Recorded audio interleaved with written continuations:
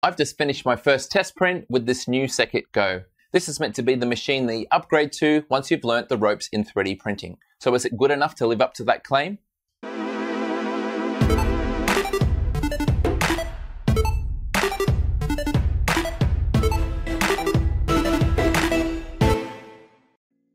I have here in front of me all of the components for a kit 3D printer and it's called the SecKit Go. All I've done up to this point was to remove everything from the box and peel off all of the protective plastic film. This is a 3D printer kit that I'm really excited about. So to explain why, let's start by looking at the specs. SecKit is a new 3D printer manufacturer from Taiwan, and I think this phrase says it all. This is your second Core XY 3D printer kit. This is not aimed at beginners, rather an overkill platform for reliable productivity. SecKit's first 3D printer was the SK300 or 600, which refers to the height of the build volume. But the printer we're building today is the SK Go. The SK Go and the slightly smaller SK Mini are built on 2020 extrusion. We can see the Mini matches the size of an Ender 3, and the Go matches the size of a CR10, but not quite as tall on the Z. One thing that I really like is you can pick your parameters to make the price higher or lower. For instance, we can change our size. If we want to save some money, we can self-source our own aluminium extrusions, and the list goes on and on. The configuration of the unit in this video is shown on screen now. Please pause it to see in more detail. Hopefully you agree the specs are incredible. The base price for the Go in this video is 550 US dollars. Now at the moment there is a promotion where it's US $100 off, and that makes the price of this competitive against any reputable large format 3D printer. What makes me excited about this printer is it's got a lot of the features that I would add to an existing printer as aftermarket modifications. There's still scope to modify it further to my liking, but the base spec is very desirable. Now for this guide, I'm going to be following the online instructions and they might get updated after what I present here. So make sure you check what's online if you're building your own kit and follow the most up-to-date version. From what I've seen so far, they look to be excellent instructions. Really clear diagrams, well-worded English, and even a little bit of humor as well. One of the things that I really like is how well everything is labeled, as well as a packing list. Even things like all of the nuts and bolts have a specific label to help you locate them easily. Now, if you are building one of these printers in the future and you get stuck, probably best to contact the support that's on the manual Anyway, let's jump straight into it. And it looks like the first chapter where I actually put things together myself is chapter 5, so that's where I'll be beginning. This first section was simply preparation of some joining parts for later on. That meant putting an M4 bolt with an M4 lock nut at the base. In the instructions, it's time to assemble the left frame.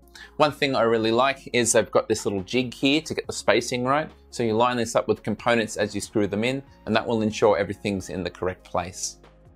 These early steps were really straightforward and you can see that the base piece is not on the ground and that assembly piece comes in handy at getting the exact spacing, much easier than measuring. After this we build the right hand frame and that's almost symmetrical apart from the power plug in the corner. Next up we join the two halves together and you can see the instructions call for the frame to be propped up. I found the stepper motors for X and Y were the exact height I needed to get everything parallel with the table. After this, the cross beams and the backplate go into place. I've just finished putting the main frame together. I've made sure it's sitting flat on the ground and then I've tightened everything so far because I'm happy that it's square and it's sitting really nicely on the table. So far it reminds me a little bit of the E3D tool change printer in the way that the frame is set up. I think there's more CNC components on that, so therefore it's a lot more expensive, but they claim best of the best. This one, a little bit more budget oriented, but I'd have to say it feels solid as a rock so far. My next step is to put the front in place. You can still see there's a little bit of flex there, but that will be fixed once we put the next components in place. The front panel is pretty straightforward. You simply put on the 3D printed enclosure for the back, and then it gets wedged in between two extrusions across the front of the printer. The next part of the frame is for the Z axis. There's an additional vertical piece on each side, and then a cross brace horizontally across the middle of the printer. By this stage the frame was getting super stiff. We then have four bits of extrusion left and we put those together into a rectangle for the heated bed. And then we're using the first of the bespoke metal parts that control the motion system. These are really, really high quality. I've just finished installing the linear rails for the Y axis and have to confess I got really confused over something and I might explain it in case it can help someone else.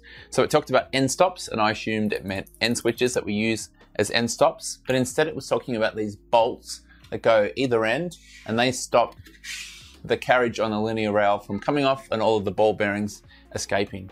So now that I've got my head around that, I can continue with the build. The belt system for a Core XY printer is a lot more complicated than for Cartesian, therefore we have a lot of idlers that we need to assemble and fortunately the diagrams are really clear.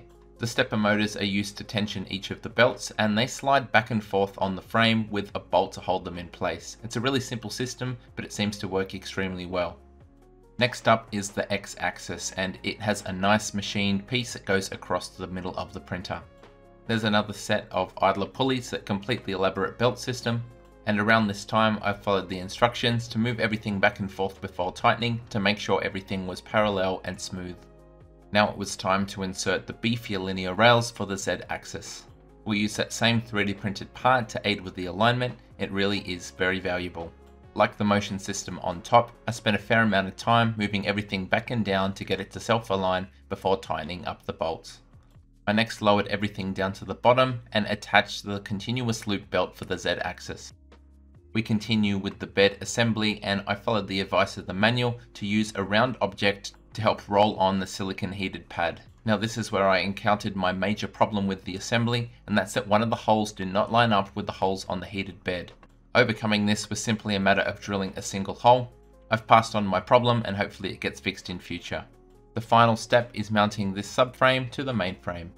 So the bed is on and I can manually move the belt to get it to go up and down. The leveling system is also in place and I'm probably going to have to adjust this bed mount later on because it can slide to the side, angle, whatever you need to to get it to line up.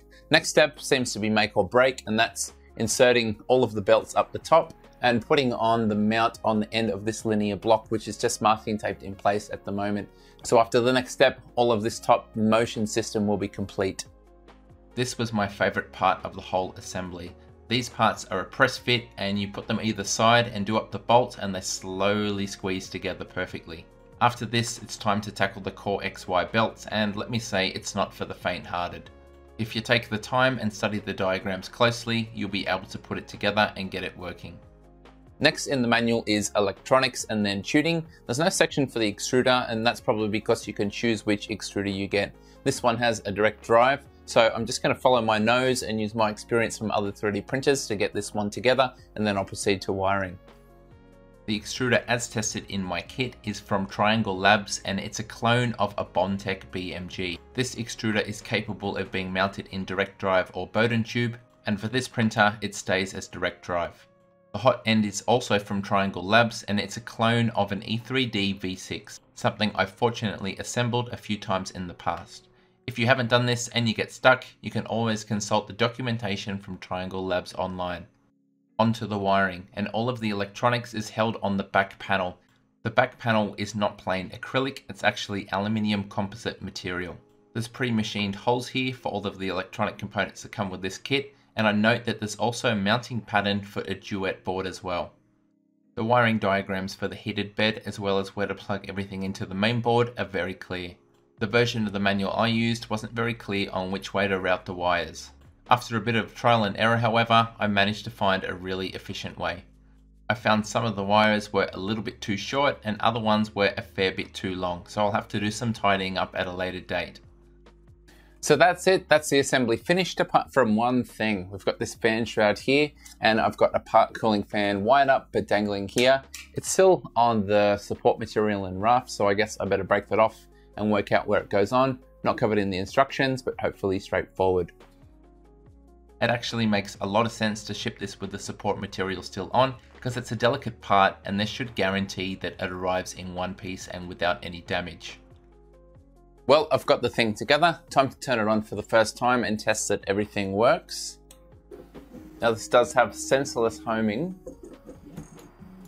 See the X hasn't worked there. And the Z has, but we've got a bit of a problem. We've got probably an inch gap between the tip of the nozzle and the bed. So the bracket is currently in the way. I'm gonna have to switch sides for that and move it up. Let's test some heating. Okay, preheating PLA. While that's happening, let's come back to our fan. Yep, I can hear and feel that that's working. So that really noisy fan is the one for the heat sink on the hot end. Sounds almost too noisy, almost like it's a 12 volt fan getting 24 volts. Gonna have to check that one. Uh, we can see the bed's already up to 42 degrees. Hot end's already up to 120. Everything appears to be working there. Probably need to tune the sensitivity of the sensorless homing for the x-axis. A little bit of tweaking before I can do my first print, but I'm to save that until tomorrow. So it's been a day or so and I have the machine back and I spent yesterday just making some little upgrades for it. One of the nice things about this machine is it's designed to be customized. All around the machine you'll find spare holes and mounting locations to make custom parts. My main problem with this printer was the Z end stop assembly. The printed plastic part that comes with it is meant to be a press fit, but for me it just wasn't tight enough. Therefore I designed this really simple solution where the micro switch is bolted to the frame above the Z axis on the right hand side, and then a long M3 bolt goes through a custom part, and I can adjust it up and down to tune my starting height. On the opposite side, I've got this simple part to hold the filament runout sensor, as well as take a Bowden tube that feeds to the extruder. But remember, this is direct drive, so this is a reverse Bowden, and you don't need to spend money on expensive tube or anything like that. On the back of the extruder and the back of the frame, I've got two simple pieces and they're designed to take another spare piece of PTFE tube just as a cable guide. And then I've got a spiral wrap around that. The head can now move around to wherever it wants and the cables will stay upright and out of the way. Finally, on Thingiverse, I found these little 2020 extrusion cable clips. I've got about a dozen and a half of those spread around the machine, just holding the wiring close against the frame and keeping things a little bit tidier. There's still a little bit to tidy up on the back, but overall I'm pretty happy with how this thing looks at the moment. So probably what you really want to know is how well does it print? Well, I've got three test prints, but they're very telling. The first is a very simple 20 millimeter calibration cube, and I did this before doing any of the calibration steps outlined in the manual. For the very first print, this thing still looks damn good. But then after this, I spent a little bit of time tuning Linear Advance and I printed another cube and guess what? That one looks even better. When we compare the two, we can see that there was a tiny bit of ringing on the first one, evident next to the letters. By dialing in Linear Advance in Marlin, we can see that that's all but been eliminated. This was a really worthwhile use of my time and I'll probably make a video about tuning that in the future. Now on the Facebook page for this printer, they had some pictures of some really outstanding benchies, so I was keen to see if I could emulate those results. And I'm proud to say that I did. I started with my Sidewinder X1 Simplify 3D profile, put the base speed down to 60 millimeters per second and the layer height to 0.2 millimeters. I reckon this might be the best 3D benchy that I've ever printed. It's got excellent cooling on the underside, there's no surface artifacts on the side of the cabin, there's no stringing, all of the letters are formed really nicely, and ringing is very, very faint. So on to my final summary. Yes, there were some teething issues with this, and I'd call them exactly that. I'm pretty sure this might be the first SKGo kit sent out, and that means that not many people have been through the instructions to give feedback. The good news is that all of the things that I mentioned were implemented within 24 hours and updated for everyone else to see. Also, the little upgrade parts that I printed, I'll have those publicly available so anyone else can benefit from them if they think they're going to be of use. After one day of tinkering, based on print quality results, I'd have to say this is already my best 3D printer. Is it the right printer for you? Well, it's definitely still not for beginners. There's a lot of assembly there.